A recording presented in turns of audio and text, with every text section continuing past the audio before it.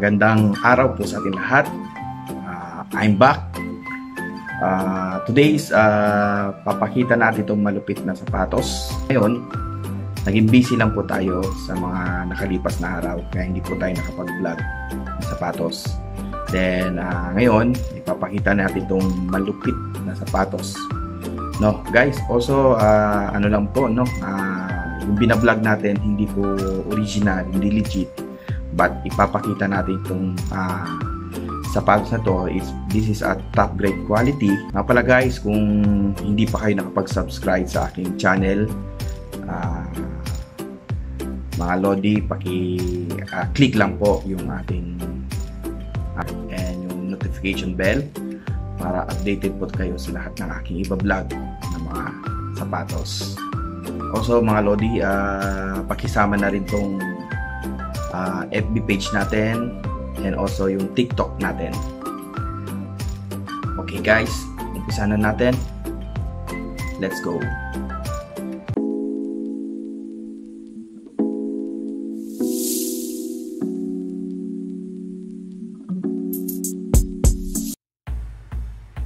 So, uh, ayan na nga guys, nasa harapan nyo na. Kung nakikita yung box, uh, ayan.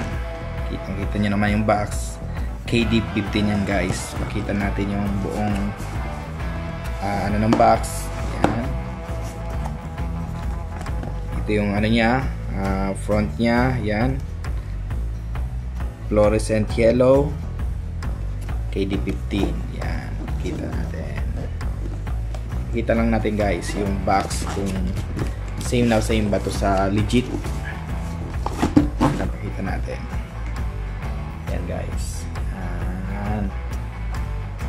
okay buksan na natin guys. Ito na.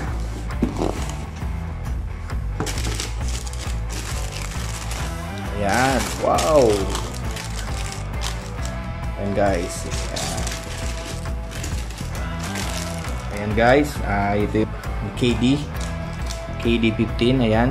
Ah, kung titignan nyo guys lapit natin yung pinaka Nike nya kumbaga may design siya na parang painting style then also meron siyang dito yung nagkaka meron nakas ano sa lace yung isang um, yung material na plastic uh, ang ganda rin guys yung ano niya yung pagkakulay kung mahilig kayo sa yellow na no Then carry nyo lang na magsuot ng yellow pagdating sa court.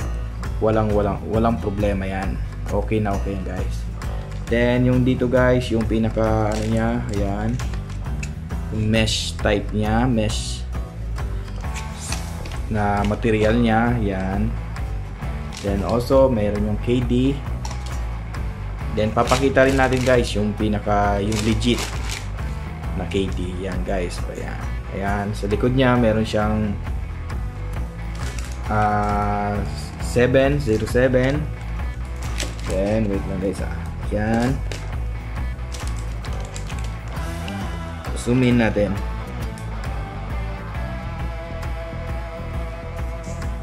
Yan. Yan, quality inspired by Kevin Durant. Yan. Then, di, meron naman tong easy yan, easy na nilagyan dyan kasi uh, pinaka ano daw yung parang uh, pagdating sa court is uh, at mga jump shot niya napakadali para sa kanya. Then sa kabila naman side guys, ito may Nike ano ulit siya. Then uh, naka ano siya ng ano, yan. Maraming painting ano siya. Then also yon uh, yung dito materials niya, plastic siya plastic materials then may design siya na ganyan guys and yan dito sa harapan guys yun yun signature ni Kevin Durant then dito yung pinaka ano niya tang niya. Uh, hindi siya tulad ng iba na makapal. Yung pinaka ano niya dito sa ankle okay okay din guys. Then yung tiketa niya oh. Talaga yung mga lumalabas na ano ito merong pang ganito. Mga lumalabas ngayon ng mga top grade shoes. Talagang talag, kung titingnan natin parang yan etiketa nya Kung titingnan natin guys, parang copy-copy na. Yung ano. Pero hindi pa rin naman na ano, na hindi pa rin naman na still fake pa rin guys. Yan. Yan yung magiging kaiba. Pero hindi rin naiwasan yan guys. Sa, even sa ano, legit may mga ganyan din na pagkadikit. Yan. Pero kung ano lang naman guys yung budget natin, uh, pwede na to. Then pangharabas na to guys. Sa, sa kung uh, yung mga court natin is ano, uh, medyo rough. Pwede na to. Then sa outsole niya guys, yan. Yun, tinan natin oh. Titingnan nyo guys, uh, ito same na same talaga sa legit guys oh. Pero ang pinakaiba nito guys, hindi siya yung totally malambot talaga dito yung sa digit guys lambot nito yan yung design niya. Ang outsole niya yan. Meron siyang zoom air dyan. Then also may KB siya. Kayo na magugas mag uh, guys kung sing ba talaga sa legit to. This is only a top 3 quality guys. No pinapakita lang natin. Yan. Then sa inside niya guys kunin natin yung ano niya. Uh, sa loob. Kunin natin.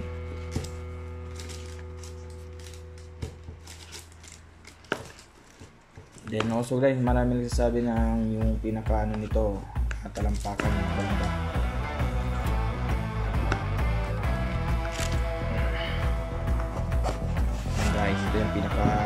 swelas niya. Ayan, medyo manipis lang then sa loob niya guys. Ito. Yan yan yung sa loob niya. Pero siyang ano dito. Design. Engineering design para sa kalampakan. Na maganda yung ano. Yan and guys guys uh, yan yung pinaka detail ng KD15 fluorescent yellow na pinag ano ano lang dito guys parang iba yung kulay nito. Parang uh, yung design niya yung nakuha dun sa mga shell. Pagka design niya yan then yan yung mesh niya. Yan sintas niya guys yan guys, overall. And later, papakita natin yung ano, pag-fit kung okay.